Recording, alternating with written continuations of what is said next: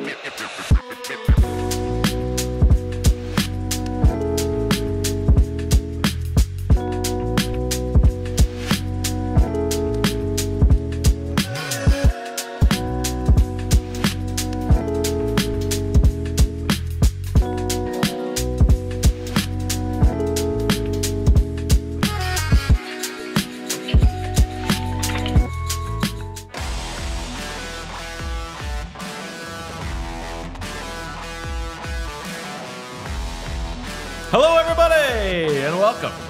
PHLY Eagles podcast. Bo Wulf, Zach Berman, high noon on a Wednesday, or as we like to think of it here, day two of Donald Parham Watch here in Philadelphia. Zach Berman, how you doing?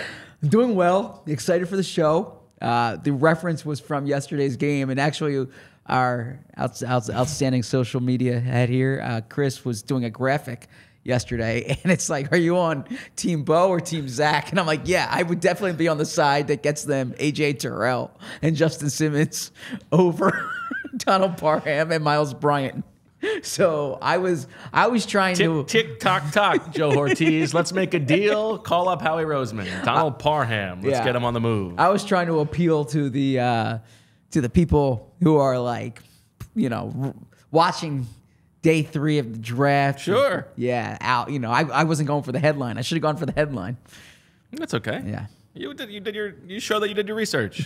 that was fun. So you can watch that or listen to that on yesterday's episode. The guys who we think that uh, might still be out there for the Eagles, but today is a fun day. Today is one of the crown jewels of the Eagles offseason as far as we are concerned.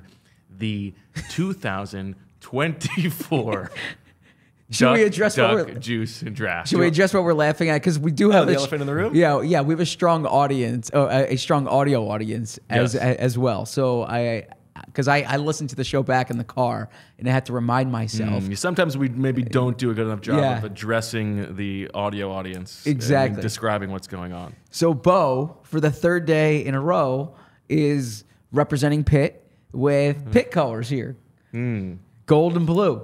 He's wearing the same shirt three days Now, in a row. the longer that I wear it, the more orange it looks. I feel like. if if if I say it's orange, will you stop wearing it? I don't know. It is There's only orange. How about that? There out. you go.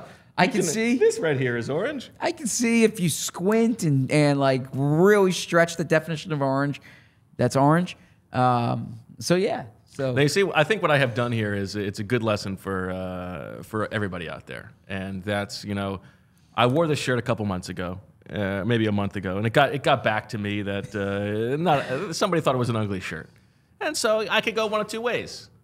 I can just not wear it anymore, take the other person's take the other person's input, and say, oh, okay, you decide what I'm going to wear. Or what I have done now is I have made this shirt my own thing. This is this shirt is uh, it's a part of the show now. It's like a, it's a bit, but it's also uh, I have made it my own. I've taken it away from whoever your unknown source was. Well, I'm actually jealous of you in, in that regard. I've I've always envied like Steve Jobs just wearing the same same thing each each day. You t- and Sam Hinkie does it too. You you take a decision out of your day right right there.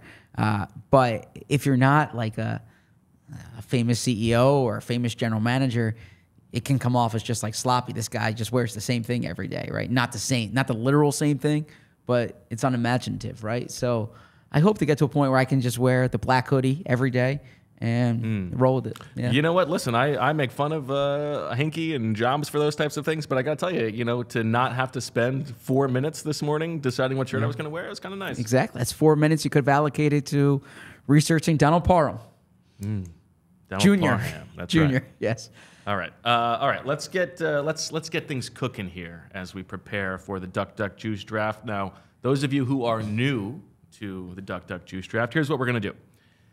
The Eagles have eight picks in this year's draft. They have a first round pick, two second round picks, a fourth, three fifths, and a sixth. And Zach and I are going to go back and forth drafting the positions that we think the Eagles are likeliest to take early in the draft, but whatever the whatever we think is going to accumulate the most points. And the points here go seven points for a first round pick, six points for a second round pick, so uh, two second round picks on the board right now, five points for a third round pick, and on down the line to just one point for a seventh round pick. There are 12 positions available quarterback, running back, wide receiver, tight end, tackle, interior offensive line, edge, defensive tackle, linebacker, corner, safety, and special teams. Now, there are a couple players where there might be some debate about the position.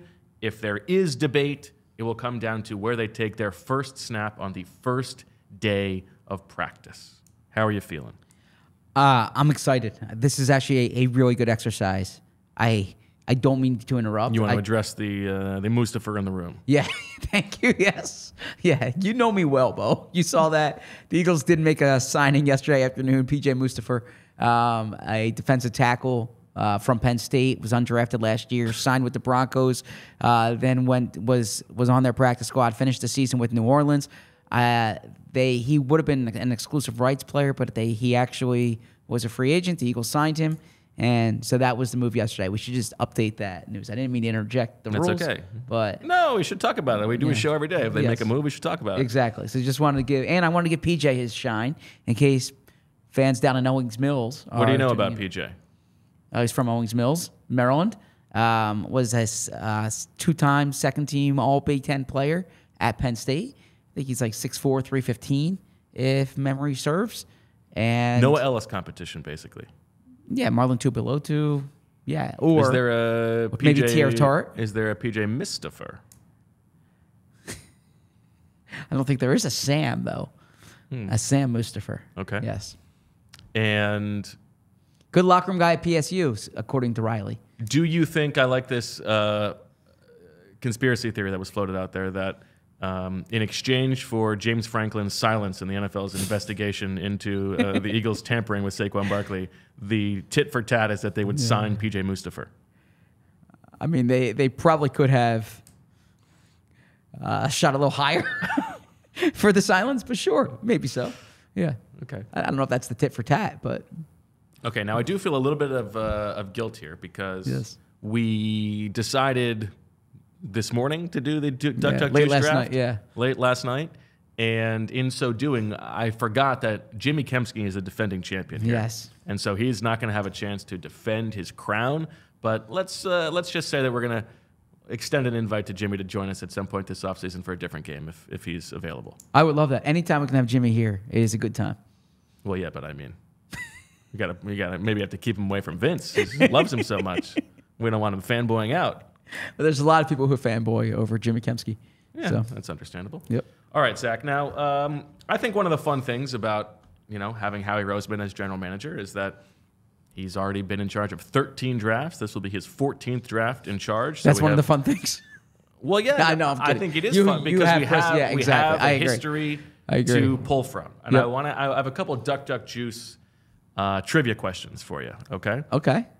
Over the course Ooh, of his I didn't do any studying over here. the course of his 13 years in charge, what position do you think has accumulated the most Duck Duck Juice points? So Duck Duck Juice started in ah. 2017. No, no, no. I mean, I'm saying if if, if Oh, we went gotcha, back okay. retroactively, starting in the 2010 draft through 2023, but discounting 2015, right? Yeah. All of the Howie Roseman drafts. What position has he spent the most draft capital on? If we are valuing draft capital the way Duck Duck Juice does, seven for a first, six for a second, five for a third, and on and on. Defensive tackle. Interestingly, defensive tackle tied for third Ooh, that surprises 42 me. points. Okay, because you had, yeah, you had multiple first rounders there, but that's you know you don't get credit for the Mike Patterson, Broderick Bunkley points. so Mm, Yes, then you, you early miss on, uh, you know, exactly. a, a seventh on Jeff Owens, nothing Yes. in 2011. oh, then okay. Fletcher Cox. So then, so then I would say that he's had three first round edge rushers because I was actually I was actually texting with Elliot about this yesterday. Uh, so sounds exciting. yeah, yeah. With out. emojis, I did not use emojis. No. okay. I'm still not a big emoji guy. I, I think yeah, I can use words to describe. You know how pictures worth a thousand words? I'd rather a thousand words. So By the way, uh, speaking of emojis, there is a there's a pineapple emoji, and that reminds me that uh, we are doing a, a PHLY Eagles bracket challenge. okay, Uh, I can I can tweet out the link, but this is uh, this is for the sickos. The password for that challenge is pineapple with a capital P. uh, you can always count on esoterica here. yeah. Yes. Uh, so So is Edge your guess? Yeah, well, so I'm as I'm going through this here. mm, let's see. He's done tackle twice in the first round. He's done edge three times. Nolan Smith, Derek Barnett, uh, Brandon Graham. Uh, so yeah, I'm gonna go edge. Edge is correct. You Okay. also forgot about Derek Barnett. I said Barnett. Oh, okay. I I said Nolan Smith, Derek Barnett, Brandon Gotcha. Graham. Okay. Yeah, And Vinny Curry in the, in the second in the round. second round, and Marcus Smith in the first round. Ah, okay, yes. So Edge is uh, high and away number one at 58. Do you want to do you want to care to guess number two? Number two here. Uh, let's go with.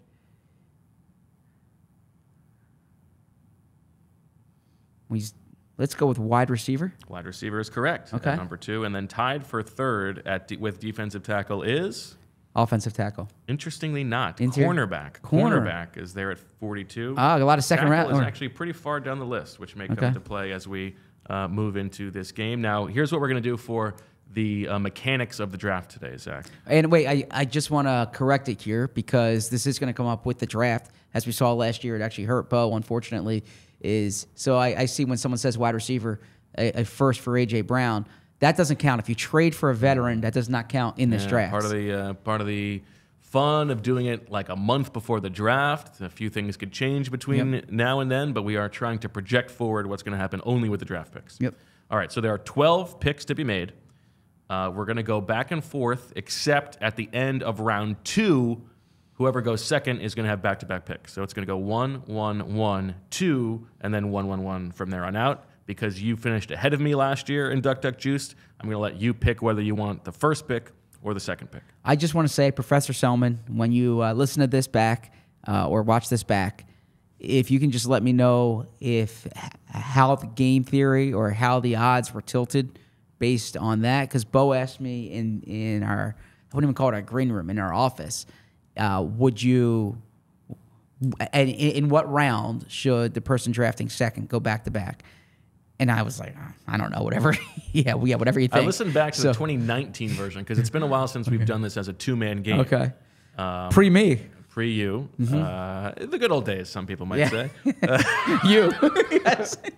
Uh, and and back then we actually did the flip at the end of the draft. The very last round, last two rounds is where the flip went. But I think that that's I think this year there's a little bit more uh, waiting towards the beginning, and it's also not like you actually won this game last year, so I don't think you deserve the full Sure. uh, benefit of, of stacking fine. the deck in your favor. Also, before we get into it, Team Chocolate Milk wants to know what platform is the Sicko bracket on. Yahoo It's on E or ESPN. Okay. Uh, and if you want, I can. I mean, what I'm going to do, I'm going to put the link in the chat uh, as we. Maybe when Zach is reading Yes. his ad, I will put the link in the chat for everybody. Uh, so I, I'm I'm gonna go with the first overall pick here. You're going to take the first overall. Yes, pick. I'm gonna All take first Well, overall. then, if that's the case, take it away, Mr. Handsome. So with the first overall pick here, Donald Parham. Here we go. I'm going to go cornerback. And that's not necessarily where I think the Eagles are going to go in the first round. Uh, they could, but I think the Eagles go corner in the first two rounds. And there's there's some good corners. They are going to go corner in this draft. I feel confident in that. And I uh, there's there's a position, and we'll get into it, where I think they're more likely to go in the first round. But if they don't take that position in round one, then I think they might wait a little bit longer on the on that uh, corner. It's if they don't go corner round one, and we should also give names here as as we're talking. Uh, in Daniel Jeremiah, I respect DJ's work. In his mock draft yesterday, he had the Eagles going Nate Wiggins, which Nate Wiggins is like your classic height, weight, speed corner out of Clemson. Uh, he fits the prototype that you're looking for. Um, now, there's other mock drafts that, that I've seen that has like Cooper DeJean from Iowa, um, Terrion Arnold from Alabama is mainly he's he's viewed as the top corner in this draft. Kool-Aid McKinstry. We had a great Terrion Arnold Kool-Aid McKinstry conversation with Fran at the combine, comparing those two Bama corners. Uh, and then, I mean, we'll nerd out. We'll have a whole cornerback show, I imagine, I leading up to imagine the draft. Uh, I got to tell you, Zach. some names. On Sunday, I went up to uh, to Princeton. Yeah, I was gonna ask you with, about this. uh, with Shield and sat with Coach Flynn to watch some wide receivers and corners. Uh, I, I invited you, but it was a little bit last minute. Yep. I understand. Couldn't make the uh, couldn't make the move. the non-invite invite. I wouldn't I'm, call it that. joking. I'm done Uh, joking. I'm well, You know, joking. it's, it's, I feel like, is it my place to invite somebody else to someone else's place? Like, I don't Yeah. know. I feel like there, Yeah. was, there was a bit of a, of a miscommunication Yeah. on our end. Um, I, I liked Wiggins, more than I expected to. Okay. Because he's a little bit he's a little bit light. Um, You like a little more heft. well, I just like to fit within general historical parameters, and he's a little bit light of that. You're a Chip Kelly guy. well, I know you're an Emmanuel Mm-hmm. Forbes guy, and how's that working out for you? I you know it's it's like I keep hearing all these Aaron Donald things about his arm length coming out. Well, Aaron Donald could play football, so and Emmanuel Forbes can. uh, so I liked uh, I liked Wiggins. I mean, I, I, Terrion Arnold, shocker, was my favorite of the guys. Um, but I thought that was interesting, and I'll get to maybe some wide receiver thoughts uh, down the line. But some guys who make sense, I think, at, at corner. I think this is also uh, a pick that makes sense from the standpoint of if you're comparing it to another position that might be more likely in the first round. Corner, you could see him double dipping.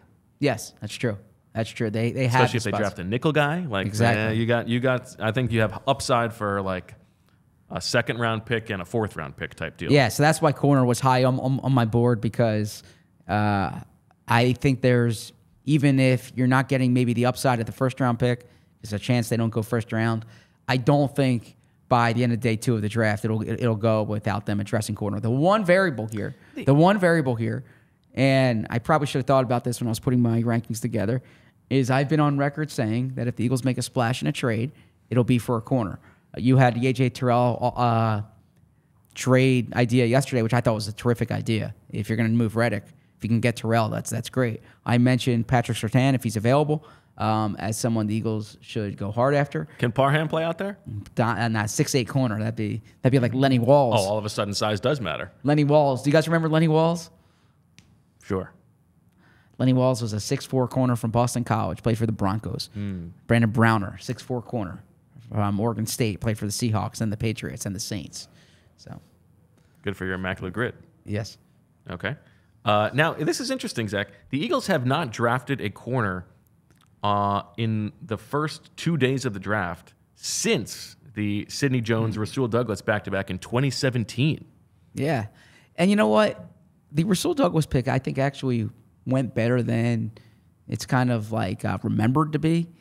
He was a third round pick that gave them productive snaps for three years. They probably got rid of him a little too soon. Yeah, I think there's a difference between lamenting the pick and lamenting the release. Like, Sure. they got fine value out of Yes. the pick.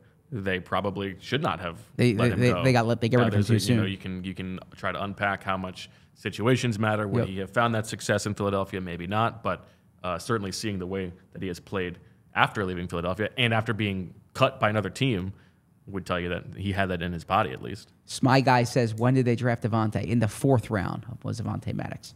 Yes, uh, yeah. Fourth round of uh, Avonte in 2018, fourth round Zech McPhearson in 2021, and then a fourth rounder for Kelee Ringo last year. Okay, corner I think I think makes sense. It was number two on my big board, Okay. so I'm going to get my top pick here. And this is uh, this is interesting.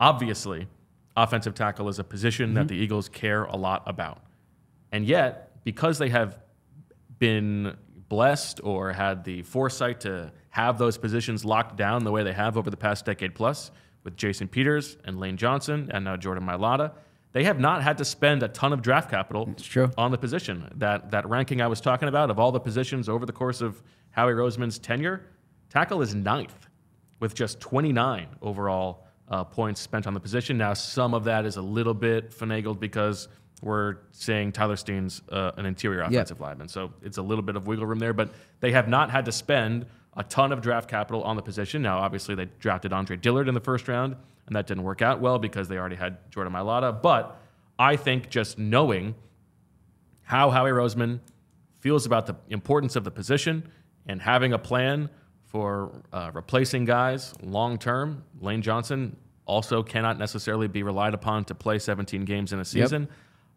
The more I look at these numbers, the more I know that this is a tackle heavy draft. I mean, I would be flabbergasted if they don't take a tackle in the first two rounds, but I think it is I think it is easily the betting favorite to be their first round pick on offensive tackle. It's interesting you say that. I'm, I'm going to push back a bit on, on, what, on what you just said. Um, I am expecting them to take a, a tackle in the first round. That's if I got a, a, DM, and, I, and, my DMs are now open. I, I think when I got verified, it went flex. to it went to verified only. Yeah, this goes to your just general trust in technology and like they know best, and the absurdity of you looking at the for you tab in the middle of the opening of free agency. yeah, so I, I I I think something with the verified made it like verified only, and I I did not know when that happened. Um, but now it's it's open anyway. Someone messaged me last night asking where I, I would put my turkeys between offensive tackle and corner in the first round. And I said offensive tackle like 65 35 or 60 40. Uh, I, I expect offensive tackle, but I wouldn't be flabbergasted if they go two rounds without an offensive tackle because if they don't take one in the first round, I don't know if they circle back and like definitely take one in in round two. I think there's a bit of a drop off at that position.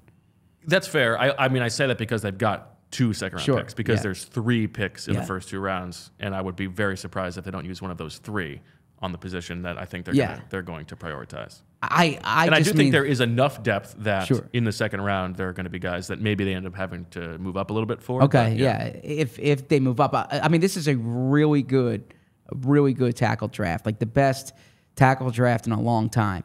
And there have been tackle drafts, like we talked about Mekhi Becton. That that was not particularly well. Actually, Wirfs was in that draft. Um, but well, here last year it was was not a good tackle draft, right? Um, but this is a really good tackle draft. I just think you could see like five off the board uh, in the first round, and then maybe six with Kingsley. And when you get to that, then you might be saying, all right, well, the value doesn't match the position here at 50 or 53. Yeah, I think that's. I don't think that's a crazy take. Uh, before we get to your second round pick, Zach, the third overall pick, let me tell you because Howie Roseman's position valuations have not changed over the years, and you know what else hasn't changed over the years? The colors of this. You could sort of make a case that the colors of this are similar to the colors of the great taste of Miller Lite because the great taste of Miller Lite has not changed over the years. It's the original light beer, and to this day, it is still the best one. Miller Lite has more of the taste you want and less of the stuff you don't. And if you want to do your own version of Duck Duck Juice around, you know, the bar table or the fireplace, and you want to suck them back with the boys, you know that Miller Lite is what you need to have in a nice cold bucket of ice. Miller Lite keeps it simple, undebatable quality, great taste, only 96 calories. It's the beer that strips away everything you don't need and holds on to what matters most. A light beer that tastes like beer. It's less filling and only 96 calories, the original light beer since 1975. Times change, but you can always enjoy the great taste of Miller Lite. Tastes like Miller time to get Miller Lite delivered right to your door. Visit MillerLite.com slash PHLY birds, or you can find it pretty much anywhere that sells beer. Celebrate responsibly. Miller Brewing Company, Milwaukee, Wisconsin, 96 calories per 12 ounces. Yesterday was the first day of spring, uh, and I'm I'm excited to bring that up because the spring purchase market. I, I want to tell you about Mortgage CS because the spring purchase market is almost here and it's heating up quickly, and many clients, especially first time home buyers, are reaching out as they want to be ready when the rates drop. That's what they say, but but that's what everyone else is doing. Given limited inventory and strong demand, competition is extremely fierce this year. Get in touch with Mortgage CS to prepare and ensure you will be able to stand out and make the strongest offers possible. Mortgage CS stands for Mortgage Concierge Service. The C and the S is for concierge service. It's white glove service. Mortgage CS is an independent mortgage broker based right here in Philly that gives you full control of the lenders that they work with. It's available. They're available 24/7. Mortgage CS is a licensed coast to coast in California, Colorado, DC, Delaware, Florida, uh, Massachusetts, Maryland, New Jersey, Pennsylvania, South Carolina, Virginia, and Washington. So don't forget to spread the word to families and friends in these areas, or maybe there's a football player signs in a different market. Jack Driscoll is going down to Florida now. He could sign up with Mortgage CS. We are here to educate and empower the clients. Mortgage CS uh, helps the clients obtain ultra competitive rates, and they have exceptional customer service, 24 7 availability from the two owners, Alec and Ben. They'll help you in a competitive market by calling the listing agents, reviewing offers, and highlighting your positive credentials. With their stellar reputation. There's tons of easy to use tools to make the mortgage process more approachable. When you hear the word mortgage, think of Mortgage CS. Think of Ben and Alec. Save Ben's telephone number 267 391 7425 to your phone. Email Ben at ben at mortgagecs.com. Call, text Ben anytime, day or night. You can even talk Philly sports. Check out mortgagecs.com slash PHLY to get started. This advertisement is not a commitment to lend or extend credit. Uh, uh, Mortgage CS is an equal housing opportunity mortgage broker. All loans are subject to credit approval. Certain restrictions may apply. Company NMLS ID number 146 4766. Visit mortgagecs.com for more information. All right, you are on the clock, Zach, with the third overall pick in the 2024 Duck Duck Juice. Yeah, I, I think what's interesting this year is that our our rankings might be a little different, uh, which is good because you, you don't want it to be like I'm just taking your third. Your, I think we probably have the next one, okay, number three on our board here. I'm going wide receiver. Yeah. Oh, okay. Uh, and this is a loaded, loaded, loaded wide receiver draft class. Now that doesn't mean the Eagles are going to take one in round one, although it very well might be the best player on their board at round one is a, is a wide receiver. But it could also be the best player on their board at round two is a wide receiver. And the best player on their board, well, they don't have a third round pick right now, but in round four, if they trade, you know, and if they got a third round pick, could be a wide receiver. Uh, so this is not um, a pick for the seven points in the first round. This is a pick. Maybe I get the six. Maybe I get a four. Maybe they take two guys right? Because there's a, I think multiple picks is yeah, absolutely on the board here. It's a deep wide receiver draft class. There's good players here. Um, I've said I think one of their top three picks is going to be a, a, wide receiver. I think their third wide receiver next year. So the wide receiver who plays the third most snaps on the team next year is a rookie. Um, I think I'm, i agree with that. Yeah. So I, I uh, now I'm coming. I'm coming around okay. to. I just the the second round pick is what makes me hesitant, only because I think there are personality dynamics to be aware of. But I, I mean, I would take a wide receiver that early. I yeah. think that's what like that's what the offense needs is a guy who you can trust there. I, I'm just not 100% sure they're going to do that. And I also sort of think if they're going to do that, the DeVonta Smith contract extension needs to come before that. Okay. Uh, well, yeah, I, I would imagine they make that a priority. But let, on on on that note, and this is tied into whether they take a wide receiver in in round two. Uh, what's the, the not not gun to your head or uh, what's water the, gun? Yeah, yeah, water gun to your where? Sphincter. Sphincter. well, okay, okay, water gun to your back. How about that? Or sure. Okay, water gun to your back. Um, at uh, in year four of the rookie contract, are both AJ Brown and DeVonta Smith on the Eagles. Of this rookie? Yeah. Of if they took a wide receiver no. in second round. Yeah. So you're you're very well might be getting a starter, like a top two guy in year three and year four of his rookie contract. Yeah. But certainly, I think a top three guy early on. And I did want to add add this. Uh, this this ties into your pick for offensive tackle. That's just did, a bidet. That's very funny. Uh, I did not bring up. I did not bring up um, uh, this during the offensive tackle talk, but whenever I hear people pushing back on offensive tackle, they're like, why would you draft a guy in the first round is not going to start for you? It is a you're taking a leap if you're expecting Lane Johnson to play 16 games or, or 17 games next year. Um, not just that, and, and that's even disregarding his, his injury history. At the age that he is playing at next year, it's rare to expect an offensive tackle to last the entire year, right? The beating that that, that position takes. So that guy. Could, I also think like the perfect the perfect prospect for them if is somebody who might have guard flexibility and can start at right guard sure. right away. Yeah, but even still, that that guy might play five games at, at right tackle as as a, as a, rookie. So that so I, I bring that up with it's tied into wide receiver. The Eagles have been extraordinarily lucky during the past two years to get remarkable health from both AJ Brown and DeVonta Smith. You saw in the postseason the first play the first game that AJ Brown missed was the playoffs last year. Um, and you saw what the offense looked like without AJ Brown, right? DeVonta, the first game that he missed was Week 18 last year. Um, you saw what the offense looked without him. I think having a wide receiver who is a it doesn't need to be AJ Brown, DeVonta Smith level, but is a starting caliber player is that's really important to have because you can't keep clinging to this idea that you're going to get 17 games from DeVonta and AJ. Yeah, I think I think wide receiver has both like maybe the highest floor and the highest ceiling of any uh, position here because they're going to draft a wide receiver, no doubt about it. Howie Roseman has never gone two drafts without drafting a wide hmm. receiver until 2022 and 2023. He's not going to go three drafts sure. without it. Plus, they also need it. Plus, the draft class makes it so that there are going to be guys uh, who make it worthwhile. Whereas, like intel. if they trade. Yeah for L'Jarius Sneed, maybe they don't draft a corner. It's, I think that's unlikely, but uh, you could say the same thing yes. about tackle. If they don't find a guy in the first two rounds, maybe they try to find an interior guy instead. Wide receiver is absolutely going to be someone who's added to this team. Yeah. Uh, all right, this is tough here. Now I have I have my little um, my little snake here. I get to go back to back picks. I think my first pick is easy, and I'm on the fence about my second pick. So let me tell you about my first one. Uh, that's interior offensive line. Um, I think I am very confident that at some point on day three, they're going to draft at least one, maybe two guys.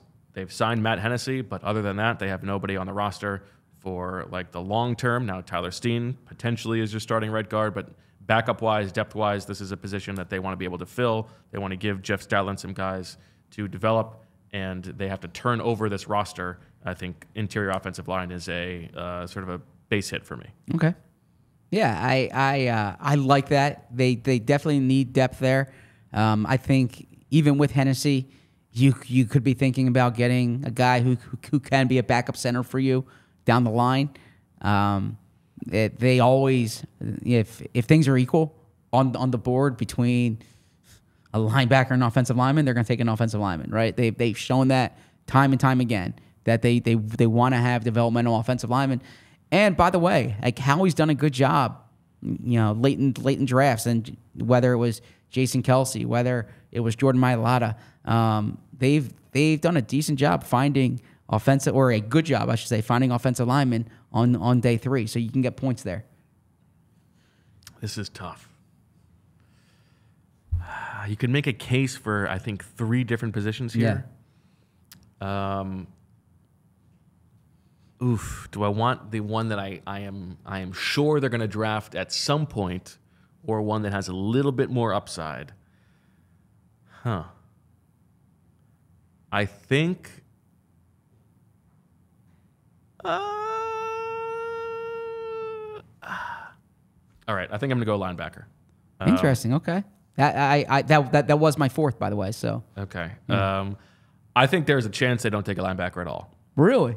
I think there's a chance. They need young linebackers. They do. Yeah. But, you know, Devin White is young ish. Yeah. Uh, they have, if they love Nakobe as much yeah. as they tell us they love Nakobe, uh, Ben Van Sumeren is on the come. It's possible that maybe they maybe they go just heavy in undrafted free agency. you made Andrew laugh. See, I'm glad. Now Andrew's laughing at me like I don't know what on the come is referring to, but that's a reference to Julio Jones being on the come, and so it's all it's all circling together. Okay. Um, I think I would be surprised if they don't draft a linebacker at some point on day three. They need they need bodies there. Um, they need to raise the floor a little bit. You cannot count on linebackers making an impact on defense early. It takes some time to develop, yeah. but uh, just in terms of getting guys in the pipeline, I think um, you know they haven't drafted a linebacker. They've drafted Nakobe and then Jacoby Stevens over the past three years. Just those two guys. I think they need somebody else in there. Nakobe and Jacoby. Yeah. Never put that together. Yeah. Um, I, I I like that pick because I do think they they've made a mistake in recent years of not building that pipeline of like day three guys. Like if you're we we know they they don't make major investments at the top of the draft, but I I think that you want to take swings. Now you can do that in the undrafted market. They hit on T.J. Edwards, obviously. They're hoping they hit on Ben Van Sumeren, but you can also do that on on day three of the draft, where they frankly haven't had a lot of success adding linebackers. Um, I saw in my For You tab uh, the uh, there's reports like linking them to Edgerrin Cooper. And I keep saying, I, I see fans saying, I, it wouldn't surprise me if they take this guy in the first round. It would shock me if they took Edgerrin Cooper in the first round. Hmm. Um, I don't think they take an off ball linebacker in the first round. Uh, I think what else did you see in your For You tab? A lot of uh, racist, misogynistic stuff, and people saying uh, nudes in bio. I don't see racist and misogynistic stuff in, in, in my for you tab actually at all. Um, I see like a lot of um, like uh, I saw a video of a uh, of there's. Uh, uh, I'm trying to think what it. There's like a hand in you know it's like a, a statue where it's in China I think it is where you can climb up to the top of the hand. Um, and What are you talking about? pull up the video. It's a statue of a hand? no, it's a statue. Someone probably knows knows knows what this is. And the hand is out, and you walk up on the hand, and there's like n- there's nothing below you. I also saw a video. What?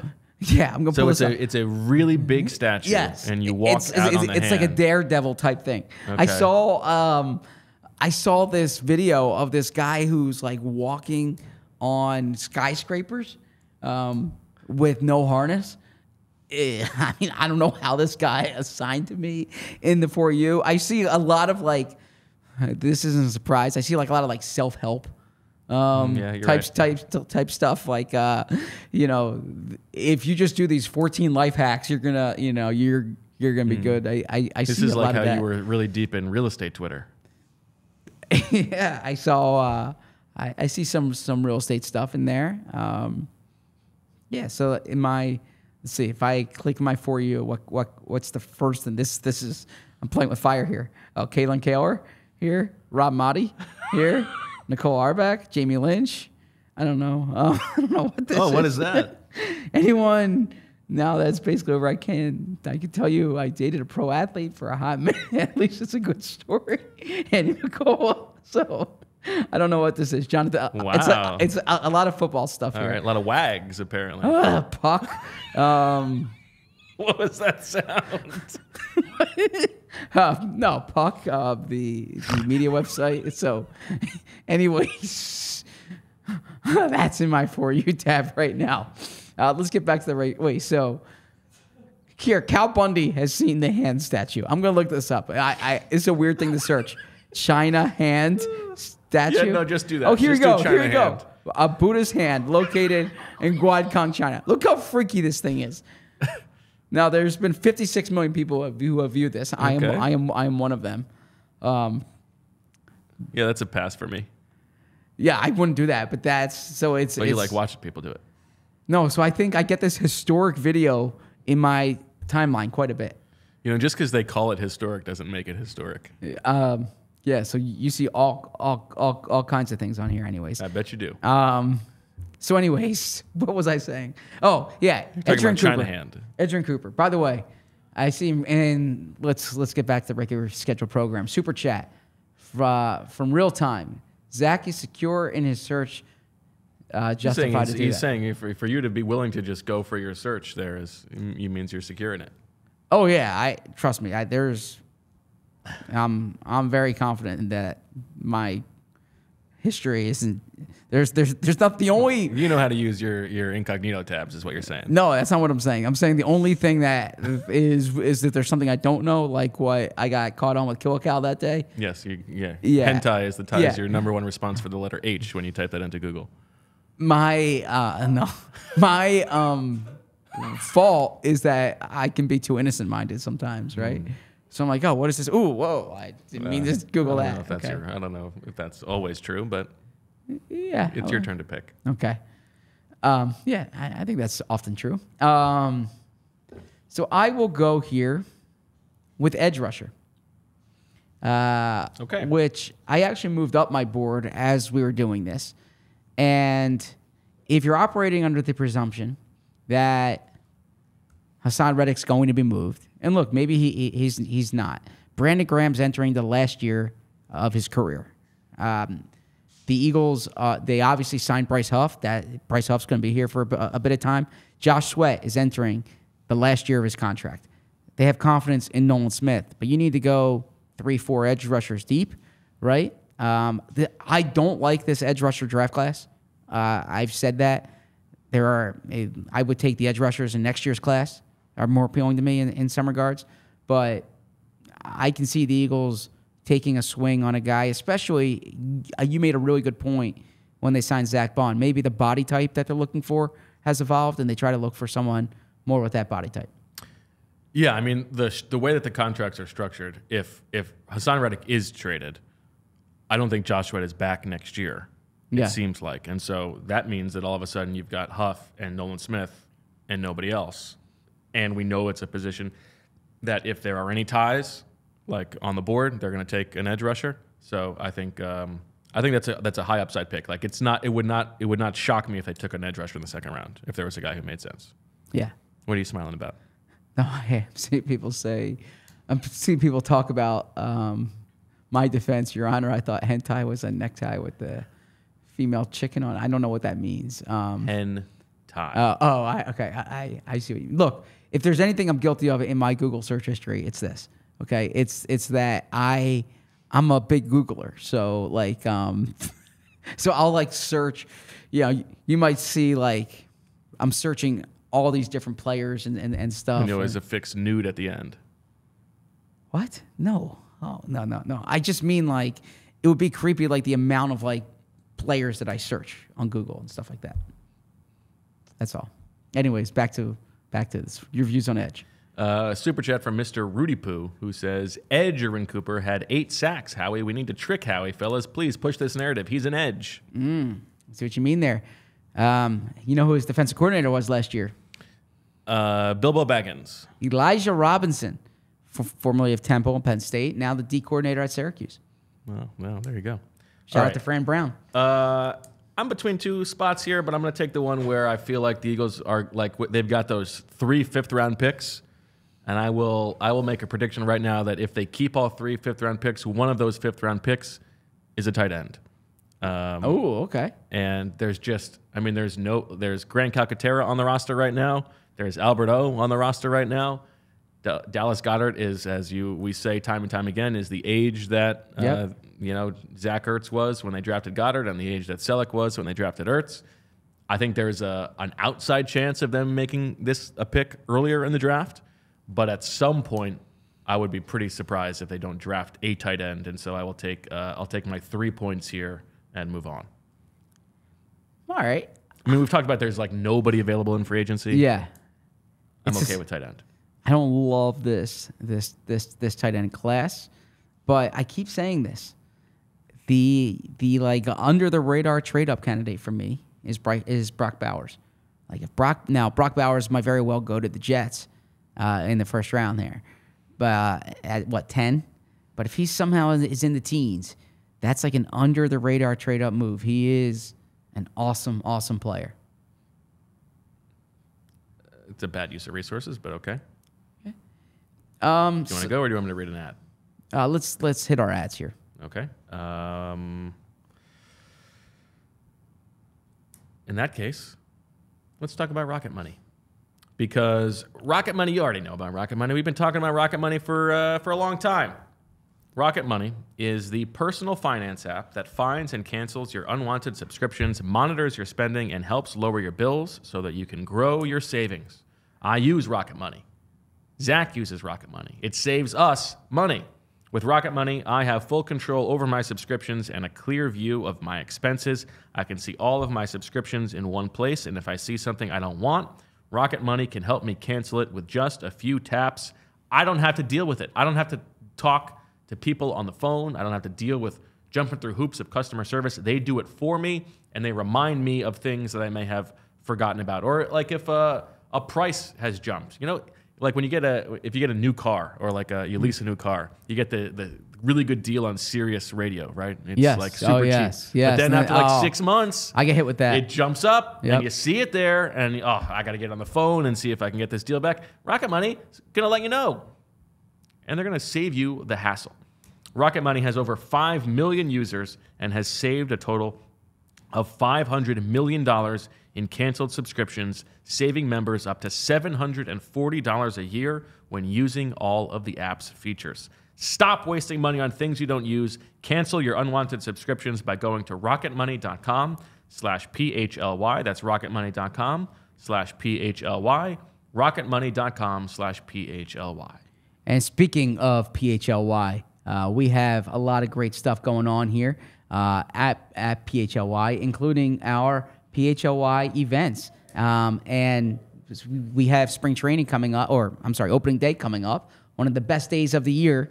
And you can join our very own Jamie Lynch, Renee Washington, and John Foley for a pregame live show and watch party at Bet Parx Casino and Sportsbook. Our friends at Miller Lite will have 16 ounce can specials from 11:30 a.m. to close. PHLY is going to be raffling off PHLY swag, game day swag, and more. Also for the Sixers, courtesy of our friends at Coors Light, we are hosting our first of many Sixers watch parties.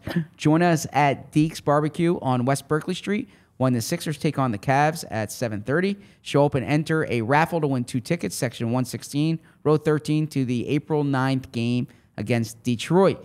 Deeks will be offering a $3 20 ounce drafts all Go night Deeks. long. Uh, check out all of our upcoming events at allphly.com under the events calendar to RSVP. Also, make sure you are a diehard member. We talk about diehard. You get 20% off events. You get fr- uh, free shirt when you sign up. And every year when, when you renew, you get premium written content, including Vince, our, our GM here says to me, Vince asks me, when's the next uh, mock draft coming? We need a, a post free agency mock draft. And I said, Vince, I'll have one for you on Friday. So you're going to have a Friday mock draft this week for the diehards. There you go. Look forward to that. All right, Zach, you are on the hook for, on the clock rather, for the eighth overall pick in the 2024 Duck Duck Juice Draft. Just to recap, you have gone, it went corner, offensive tackle, wide receiver, interior offensive line, edge, linebacker, and tight end.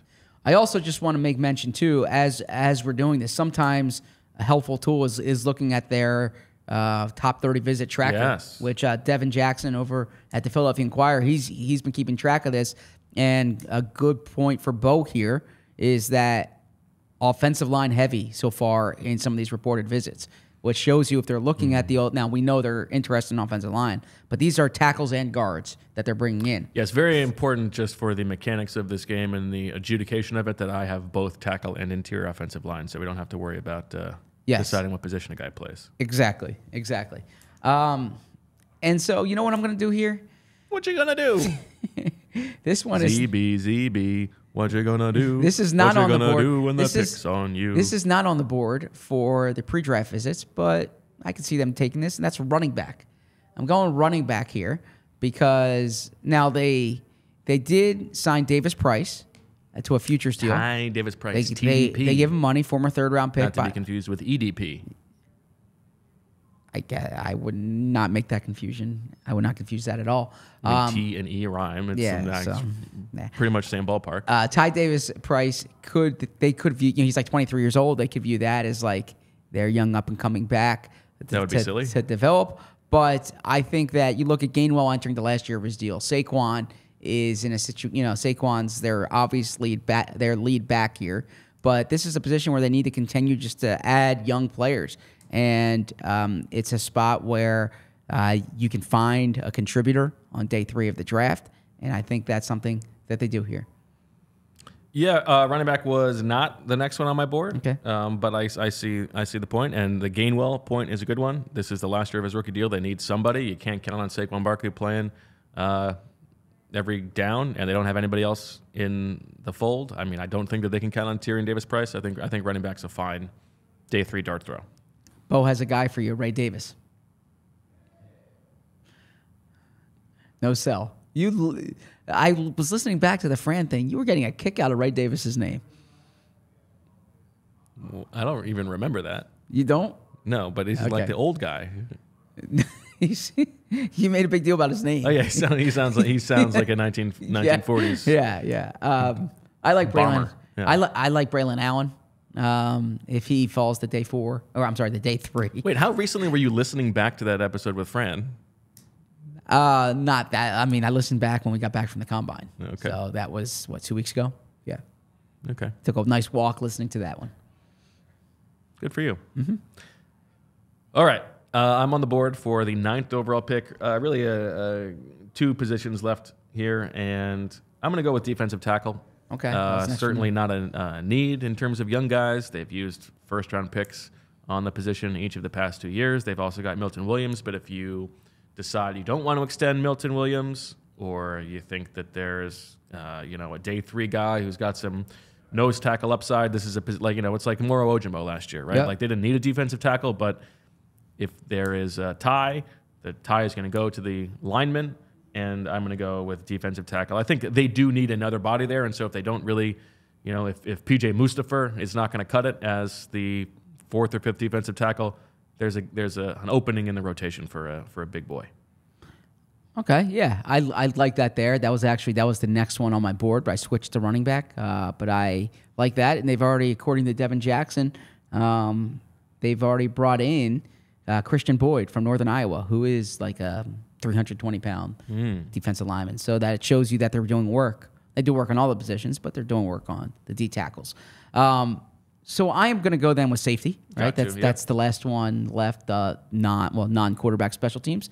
And when you look at, at at safety here, the Eagles have C.J. Garner Johnson, Sydney Brown, Reed Blankenship, right? Um, behind that, though, unless they add uh, Justin Simmons, as we talked about yesterday, they did they they don't really had uh, they don't really have anyone who uh, you say is like definitely going to be on the team. Mekhi Garner, Tristan McComb. You, you don't know if that's the case. Also, they they need to boost up their their nickel corners. And we keep thinking they can go with someone with like inside outside versatility. Maybe they go with someone who's safety corner ver- oh I'm sorry safety slot versatility similar to a CJ Gardner-Johnson. Uh, so I Also nice here that you have corner and safety. So Yes. another position where there might have been some debate sure saved. Yeah, and and, and so you you tend to kind of look D backs late in the draft sometimes. I can see them doing that. And just from a special team standpoint, Mm-hmm. guys who can impact special teams on day three, safety is one of them. I think uh, safety's a. I mean, it was absolutely the the right pick there with three picks left, and I think you can make a case that that will be uh, that that that could be the pick that wins the Duck Duck Juice draft for you, Zach. I don't know about that, but we'll see. Okay, don't sell it. That's fine. No, I appreciate the confidence in in that. I I think your offensive line, uh, I think cornering the O line market for you was a strong play here, uh, because last year you were unfortunately shut out thanks to D'Andre Swift, it's true. and now there's four. Hard to believe that that could happen. There were there were there were three people playing, so you only had four positions. So it's a little it's hard to get shut out this year. But it was hard to get shut out last year. To be fair, but I, I think that um, you are in good shape with offensive linemen, and they could take multiple at either of those positions, and that could boost you up. All right, uh, it's down to quarterback and special teams. I think it would be a surprise if they did either one of these, but Mm-hmm. considering that they have recently signed their kicker, their punter, and their long snapper, it's hard to believe they would do that at all. And even though a quarterback seems kind of crazy, it's more likely that uh, you know something weird happens to Kenny Pickett or uh, Tanner McKee, and they decide to use a quarterback pick than it is them doing that on special teams. So I will take quarterback. Okay, I like um, yeah, I like that pick between the two. You never know; they could always take a developmental guy at quarterback. I don't think they take a developmental kicker, punter, or long snapper. Yeah. Uh, it's a shame for all the Harrison Mevis fans out there because he's a fun he's a fun kicker. Um, Not Harrison Uvis, not Harrison Weavis, Harrison Mevis. Harrison Harrison Mevis is uh, he's an interesting one, and then Mevis and Mutthead. there's some good kickers. There's Will Reichard, I believe, from Alabama. There's Joshua Karty from Stanford. Um, trying those are the ones that jump to my I mean, head. you should be making up names right now. That's what you should be and the top punter is from Iowa, uh, Tory Taylor, Toby Taylor. It's Taylor's the last name, Tory or Toby. Tyrod. It's definitely not Tyrod. Think I, I, Tim the Tool Man. I think this one's Australian. So Toby. I think it's let's see. Uh, does the chat know? Tubby. Is it Toby Taylor, Iowa? No, that does not come up. I feel like Um, the name Tory. Tubby Tubby doesn't get enough play. I was I was right. Tory Taylor from Melbourne, Australia. Why was why was Tubby Smith the end of the line on Tubby? Well, it was his I think we don't get enough Tubbies it, wa- anymore. It was his nickname. His given name was not Tubby. yeah, but I mean, I I don't see any more Tubbies hanging around. Speaking of Tubby Smith, um, you want to reveal your NCAA tournament picks? Oh, I don't have my picks yet. Oh, you haven't done your picks yet. No, Okay. but we have the Oh, should we do have it? the bracket. Ah, Uh, okay, I'm so- put, now I, I was not allowed to put a link in the ch- in the uh, comments, the live comments, but I will put the link in the comments if I'm allowed to underneath the video when the video gets posted. Uh, again, the password is pineapple with a capital P, and uh, I don't know. Do I want to tweet it? Mm, I don't know. Maybe. I guess so. And uh, we should say what the winner's going to get. I feel like the winner of this bracket challenge gets to come on the show for a segment or something like that. yeah, I think that's a great idea. I think it's a great idea. Yeah. I, I will interview you. Zach will Google you. I will actually. Uh, rest probably assured will, of that. yes. And uh, who knows if he'll Google you and put nude at the end of it. That I will definitely not do that. Why would you ever do that? It's curious. Never done that. Never would. So um, no, but I will. You know, I'll, I'll see if there's anything you've written or if there's any published articles with with your name in it. Maybe Yeah. something else. We'll, we'll throw in some other kind of PHLY swag and uh, Yeah, I like something- that. Something good. Uh, what else? Uh, what else is on your mind here before we close out the show? Uh, so let's see. Elsewhere in the NFL, there's. Do you want to give away your picks?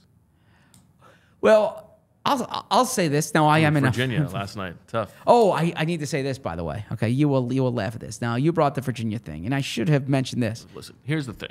He No. gets a lot of slack, but Tony Bennett is a really good coach. And No, a I wasn't wonderful say that, man and a leader of men. I- Okay, so- this is what you need to know. Think of all the things he's accomplished and how nice he was to me when I was on that beat. Okay, Tony Bennett, do not give him slack.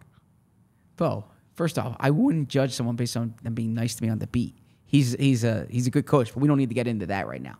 What I want to get into is this: Colorado State. I am I am in.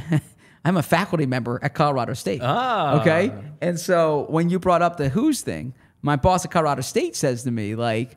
Why didn't you give a? He says, why "Hey, didn't you oh, give wait, CSU wait, a, what am I over here?" a shout out? And I say, I say, yeah, I got to be objective. Come on. I think he had that look over text. He's like, "You work here, right?" Yeah. So, uh, yeah, my I am uh, I'm a faculty Proud- member at the sport management program. Proud Ram. Oh, I'm a, a faculty member at the Colorado State, um, you know, their uh, sport management program, and so uh, yeah, Colorado State's advancing. So shout out to CSU and the fine students who are uh, some of whom, or maybe there's a student or two in my class this year.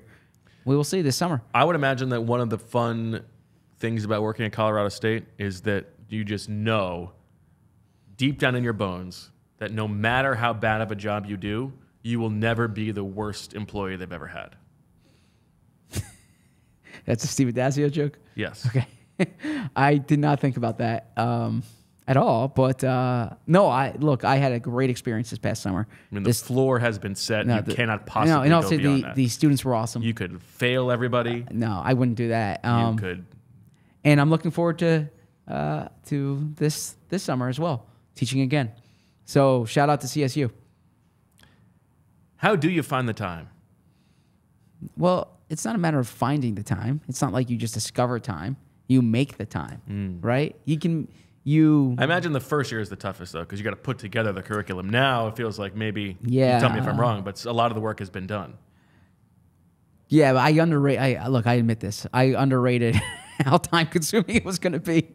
Grading is really time consuming. Um, Yeah, and because it especially matters with to the people. yeah, and even if you you, you know you have a, a rubric in, in place, but like it's very subjective. So it's like, wait, is this? You know, it's hard to if if I feel like you should change the name from a rubric to a Zangaro Rick. well, I'm saying if if you're like a math professor, okay. I mean, there's there's a right answer or a, a, a wrong answer. If I'm if only it was so so Yeah. naive about all the things that could go into grading a math test. yeah, if if, if As I'm if they're as if in college they're just doing multiplication and subtraction. I'm saying, but for this, I'm like, what's the difference between an 87 or a 91 or a 83 or you know? Now there's a different. You can tell the Active difference. verbs. You can tell the difference between a, a 70 and not and a 90. Like, yeah, that's that's pretty clear. That's like me playing baseball and you playing baseball. Um, but yeah, good. I one. agree. Yeah. Um, but some of these, there's it's left Not up like to a nuance. 16 and 95, but yeah.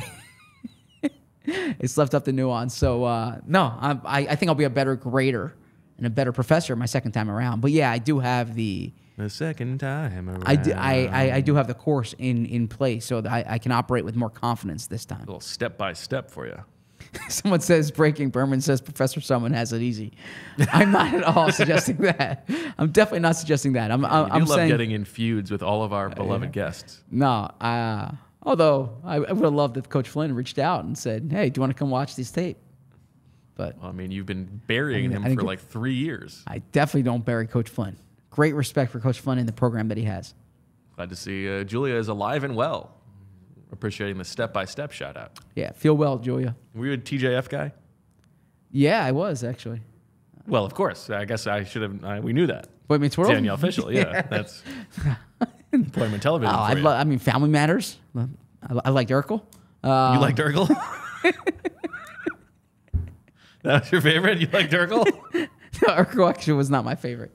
Um, but I yeah, I enjoyed Urkel. I, I liked when he became um, Stefan. Stefan. Yeah, Stefan was cool. Gave you something to dream about. Um, yeah, I watched Boy Meets World. Uh, Sister Sister was on there. But- Hmm. Did you watch Step by Step? Yeah, Step by Step. I remember that. Okay. Yeah. Step by Step, Day by Day. Yep. Was Family Matters on TGIF? Yeah. I watched Family Matters. Um, liked it all. All right. Andrew? Who would thought? TAF guy? No? Yeah.